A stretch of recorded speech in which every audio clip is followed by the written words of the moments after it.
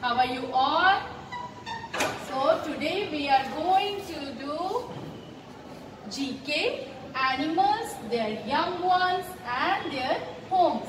हम आज जानेंगे कि एनिमल्स रहते कहाँ हैं और उनके स्मॉल वंस को यंग वंस को क्या कहते हैं लेकिन उससे पहले date and today's date is 9 12 2020 9th of December 2020 and the day is Wednesday.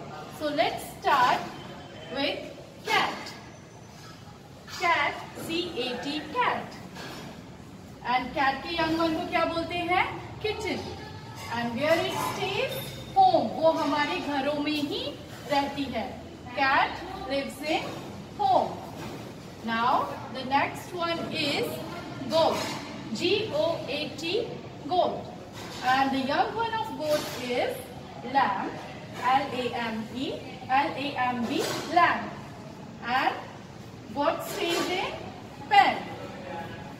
Next one is cow, C-O-W, cow. And the young one of cow, calf. And it lives in shed. Now, now the next one is D-O-G, dog. And we call the young one of dog puppy. P-U-P-P-Y, puppy. And dog lives in kennel. Next one is pig. Pig lives in pig's young one called as piglet and it lives in pig pigsty. Now the next one is H-E-N, hen. And the young one is called as chick. हम hen के young one को क्या बोलते हैं? Chick. And hen lives in coop. C-O-O-P, coop. Now the next one is horse. And the young one of horse is called as foal. And horse lives in stable. Now the next one is lion. And the young one of lion is called as cow. It lives in den. So here are some animals, their young ones and the homes. Now let me show you some pictures of the animals with their young ones and the homes. See, cat with the kitten, goat with the lamb, cow, dog, pig,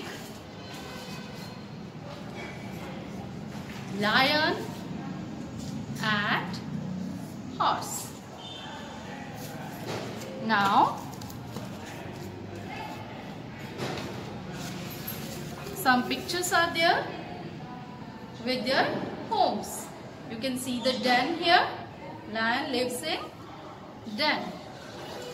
Horse lives in stable. You can see the stable.